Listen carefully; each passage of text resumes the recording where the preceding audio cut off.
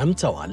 የፋይዳ ብሔራዊ ዲጂታል መታወቂያ ምዝገባ በተመረጡ የኦሮሚያ ባንክ ቅርንጫፎች እየተካሄደ መሆኑን እስካሁን ለዚህ ዘርፈ ብዙ ጥቅም ላለው ብሔራዊ መታወቂያ ካልተመዘገቡ ዛሬውኑ የዕቅዶ አካል አድርገው ያለምንም ክፍያ ወደሚስተናገዱባቸው በባንካችን ዋና መስሪያ ቤት በሚገኙት አፍሪካ ጎዳናና ቢላል ቅርንጫፍ፣ ሜክሲኮ አካባቢ በሚገኘው ገነት ሆቴል ቅርንጫፍ እንዲሁም መሳለሚያ ቅርንጫፍ በመሄድ ከ10 ደቂቃ ባነሰ ጊዜ ውስጥ ምዝገባውን ያካሂዱ። ለመመዝገብ የቀበሌ መታወቂያ፣ የመስሪያ ቤት መታወቂያ፣ የዕድር መታወቂያ፣ መንጃ ፈቃድ ወይም ሌሎች እርስዎን የሚገልጹ የማንነት ማረጋገጫዎች በመያዝ ይምጡ።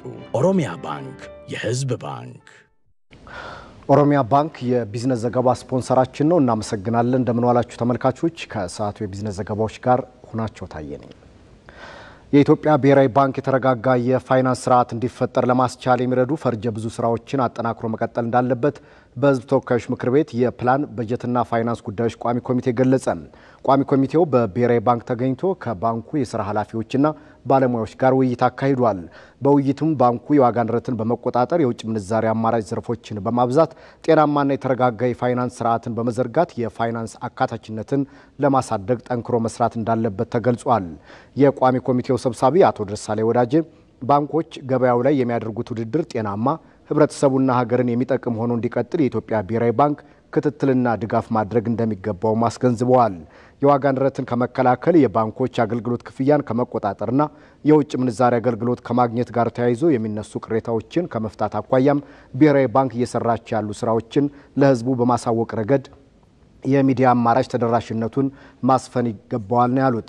የብሔራዊ ባንክ ገዢ አቶ ማሞ ምረቱ በበኩላቸው የገበያ የዋጋ ንረትን ማርገብ ከባንኩ ቁልፍ ተግባራት ዋነኛው መሆኑን በማስገንዘብ ባንኩ በቅርቡ የወሰዳቸው የገንዘብ ፖሊሲ እርምጃዎች የዋጋ ንረትን በማርገብ የባንክ ብድር እድገትን በመግታትና የመንግስትን የቀጥታ ብድር መጠን በከፍተኛ ደረጃ በመቀነስ አዎንታዊ ውጤት እያስገኘ መሆኑን ተናግረዋል።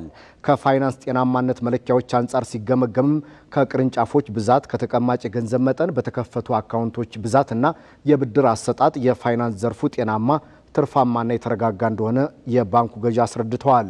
ሴቶችን አብቅቶ ወደ አመራርነት ከማምጣት ባንኮች የሚሰጡት የአገልግሎት አማራጭ ለአካል ጉዳተኛ ዜጎች ተደራሽ እንዲሆኑ ከማስቻል አኳያ የሚታዩ ክፍተቶችና የተመዘገቡ ጠንካራ ጎኖች ላይ ውይይት መካሄዱን ከሕዝብ ተወካዮች ምክር ቤት ያገኘነው መረጃ ያመለክታል። አዲሱ የኢንዱስትሪ ፖሊሲ ለሀገር ውስጥ አምራቾች ከፍተኛ ትኩረት መስጠቱን የኢንዱስትሪ ሚኒስትሩ መላኩ አለበል ገለጹ። ፖሊሲው ከዓለም አቀፋዊና ሀገራዊ ሁኔታ ጋር በተጣጣመ መልኩ የተዘጋጀ መሆኑንም ሚኒስትሩ ተናግረዋል። ጌታቸው ባልቻ በሀገር በቀል የኢኮኖሚ ማሻሻያውና የአስር ዓመቱ መሪ የልማት እቅድ ለአምራች ኢንዱስትሪው ልዩ ትኩረት መሰጠቱ ለዘርፉ መሻሻል አስተዋጽኦ እያበረከተ መሆኑን ነው የኢንዱስትሪ ሚኒስትር መላኩ አለበል የገለጹት። መንግስት ለዘርፉ መጠናከር የተለያዩ እርምጃዎችን እየወሰደ ነው ያሉት ሚኒስትሩ ከዓለም አቀፋዊና ሀገራዊ ነባራዊ ሁኔታ ጋር የተጣጣመ አዲስ የኢንዱስትሪ ፖሊሲ ወደ ሥራ መግባቱን ተናግረዋል። አዲሱ የኢንዱስትሪ ፖሊሲ ላለፉት 20 ዓመታት ሲተገበር የቆየው ፖሊሲ ላይ የነበሩ ክፍተቶችን በሚደፍን መልኩ እንዲሁም የቴክኖሎጂ እድገትን ሰው ሰራሽና ተፈጥሯዊ ተለዋዋጭ ሁኔታዎችን ታሳቢ አድርጎ መዘጋጀቱን አብራርተዋል። ቀደም ሲል የነበረው ስትራቴጂ ከ20 ዓመት በላይ እያገለገለ ነው።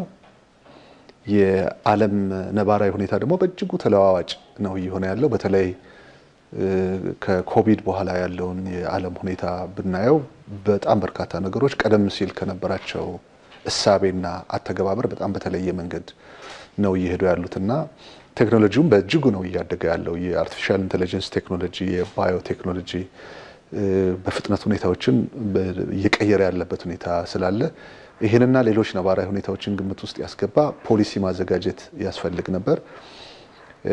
ይሄ ፖሊሲ በቅርቡ ጸድቆ ወደ ስራ እንዲገባ ተደርጓል። ኢንዱስትሪዎች የሚያጋጥማቸውን የግብዓት የኃይልና የፋይናንስ ተግዳሮቶች ለመፍታት ከባለድርሻ አካላት ጋር ሰፊ ርብርብ እየተደረገ መሆኑንም ሚኒስትሩ አስረድተዋል።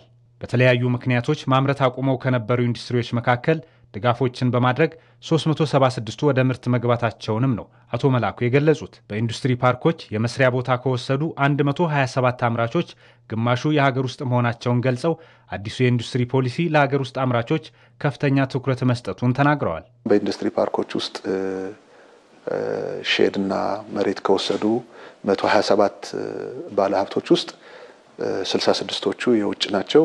61ዶቹ የሀገር ውስጥ ባለሀብቶች እንዲሆኑ ማድረግ ተችሏል።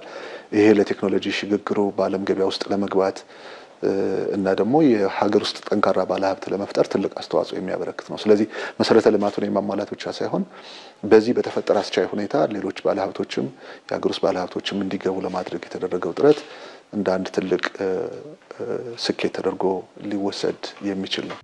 ገቢ ምርቶችን ለመተካት በኢትዮጵያ ታምርት ንቅናቄ ሰፊ ስራ መሰራቱን ያነሱት ሚኒስትሩ የመንግስት ተቋማት የሀገር ውስጥ ምርቶችን እንዲገዙ ከማድረግ ጀምሮ ማበረታቻዎች እየተደረጉ ነው ብለዋል። አሁን ካለን አጠቃላይ ቁመና አኳያ 96 የሚደርሱ ምርቶችን በፍጥነት መተካት አለብን በሚል ስትራቴጂዎች ተለይቶ የትኞቹ ላይ ኢንዱስትሪዎች ላይ ምን እንሰራለን የሚለውም ተለይቶ በዛ መሰረት ወደ ተግባር ተገብቷል። ይህንን የሚያጠናክርም በመንግስት በኩል የተሰጠ አቅጣጫ አለ። ይህ አቅጣጫ ምንድን ነው?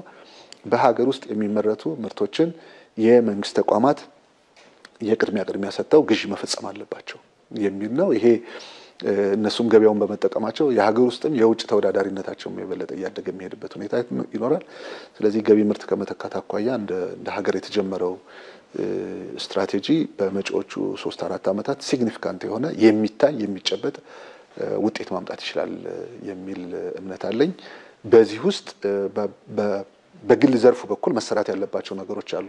አንዳንድ ጊዜ መንግስት እንደዚህ አይነትን እድል ሲሰጥ እድሎችን በተሳሳተ መንገድ በተዛባ መንገድ ለኢኮኖሚው በማይጠቅም ኢኮኖሚ በማያሳድግ ዘርፉን በማያሳድግ መንገድ ለመጠቀም የመፈለግ ፍላጎቶች ይኖራሉ። እሱን ማስተካከል ከግል ሴክተሩ አኳያና ውድድርን የሚያጠናክር እንዲሆን የማድረግ በኩል በእነሱ በኩል ይጠበቃል። በበጀት ዓመቱ ባለፉት አምስት ወራት ወደ ውጭ ከተላኩ የኢንዱስትሪ ምርቶች 131 ሚሊዮን ዶላር መገኘቱን ገልጸው ገቢው ከተላከው ምርት አኳያ ተመጣጣኝ አለመሆኑንም አንስተዋል። ለዚህ ደግሞ አንዳንድ ምርቶች ላይ የመሸጫ ተመን አለመውጣቱ፣ የዓለም ገበያ መዋዠቅና ምርቶቹ ላይ በቂ እሴት አለመጨመር በምክንያትነት አንስተዋል።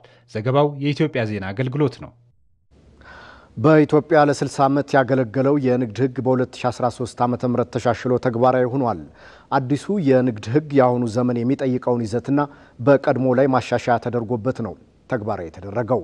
መሐመድ አልቃድር ተጨማሪ አለ። በኢትዮጵያ የመጀመሪያው የንግድ ሕግ ተደንግጎ ተግባራዊ የተደረገው በ1952 ነበር። በአምስት መጽሐፎች የተደራጀው ሕጉ ለንግድ ሥራ መሠረት የጣልና ከዘመኑ የኢትዮጵያ እድገት ደረጃ አኳያ ሲታይም ከጊዜው እጅግ የቀደመ እንደነበር የንግድና ቀጠናዊ ትስስር ሚኒስቴር የሕግ አገልግሎት ዘርፍ ሥራ አስፈጻሚ ይርሳው ዘውዴ ይገልጻሉ። አሁን በወጣው የንግድ ሕግ ላይ ምንድን ነው የሚለው? መግቢያው ላይ የ1952 የንግድ ሕግ በዘመኑ ጊዜውን የቀደመ ነበር ብሎ እውቅና ይሰጠዋል። አዲስ ሕግ ማለት ነው። ነገር ግን አሁን ካለው ተጨባጭ ሁኔታ አኳያ ያለውን የንግድ እንቅስቃሴ ለማስተናገድ በቂ አይደለም። ከዚህም ባሻገር ሕግ ደግሞ ለአሁን ላለው ብቻ አለው ወደፊት ማየት አለበት ማለት ነው። ሆኖም ሕጉ ከወጣበት ጊዜ አንስቶ ባለፉት 60 ዓመታት ብዙ ነገሮች የተለወጡና የንግድ ፍሰት መጨመር ሕጉን ለማሻሻል አስፈላጊ ያደረገው ምክንያት መሆኑ ተነስቷል። ሕጉ ያገለገለው እንደምታውቁት ከ60 ዓመት በላይ ነው። ስለዚህ በዚህ ጊዜ ውስጥ ብዙ ሁኔታዎች ተቀይረዋል። በኢትዮጵያ ብዙ ባንኮች ተቋቁመዋል። የመድን ድርጅቶች፣ የተለያዩ የንግድ ማህበራት ተቋቁመዋል። የውጭ ኢንቨስትመንት ወደ ሀገሪቱ መምጣት ጀምረዋል። ስለዚህ አንዳንድ ድንጋጌዎች ከዓለም አቀፍ የንግድ ሁኔታዎች አንጻር ሀገሪቱ ከደረሰችበት የኢኮኖሚ ሁኔታ አንጻር አንዳንድ ድንጋጌዎች ክፍተት ያለባቸው፣ ውስንነት ያለባቸው፣ ለአፈጻጸም አስቸጋሪ የሆኑ መሆናቸው በተግባር ታይቷል ማለት ኢንቨስትመንት ድንበር ዘለል እየሆነ መምጣቱ፣ የቴክኖሎጂዎች ማደግ፣ ንግድ በቴክኖሎጂ እየተሰራ መምጣቱ፣ ከዛም ባሻገር ደግሞ በአሁኑ ጊዜ ነፃ የአፍሪካ ነፃ የንግድ ቀጠናም አለ። እነዚህ ሁሉ ሁኔታዎች በአጠቃላይ ዓለም አቀፍ ተወዳዳሪ ሆኖ ለመቀጠል እንዲሁም አገሪቱ ካሳለፈቻቸው ካለፈችባቸው ሁኔታና አሁን ከደረሰችበት ሁኔታ ለማጣጣም ሕጉን ማሻሻል አስፈላጊ ሆኖ ተገኝቷል። አዲሱ የንግድ ሕግ ትግበራ አሁን ላይ ምን ይመስላል ያልናቸው ስራ አስፈጻሚው ተከታዩ ምላሽ ሰጥተውናል። በአዲሱ ሕግ ውስጥ ብዙ የተካተቱ ጠቃሚ ነገሮች አሉ። ስለዚህ የንግዱ ማህበረሰብ እነዛን መጠቀም አለበት። ለምሳሌ ከማህበራት አደረጃጀት አሁን ብናይ አንዱ የተጨመረው የንግድ ማህበር ባለ አንድ አባል ኃላፊነቱ የተወሰነ የግል ማህበር የሚባል አዲስ የንግድ ማህበር አይነት በንግድ ሕግ ውስጥ ተካቷል። ሰባተኛው የንግድ ማህበር ሆኖ ገብቷል። ይሄ የገባበት ምክንያት ከዚህ በፊት አንድ ግለሰብ እንደ ግለሰብ ነበር መስራት የሚችለው አንድ ግለሰብ።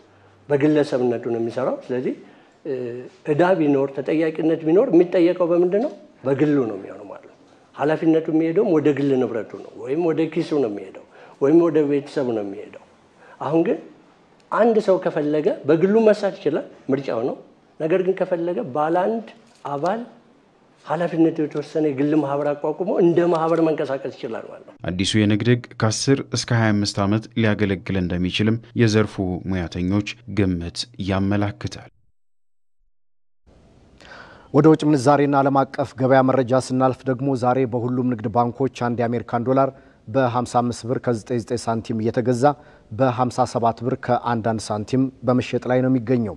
በዓለም አቀፉ ገበያ ድፍድፍ ነዳጅ በለንደን ገበያ በ77 የአሜሪካን ዶላር፣ በኒውዮርክ ገበያ ደግሞ በ72 የአሜሪካን ዶላር በመሸጥ ላይ ነው የሚገኘው። ተጨማሪውን አብረን እንከታተል።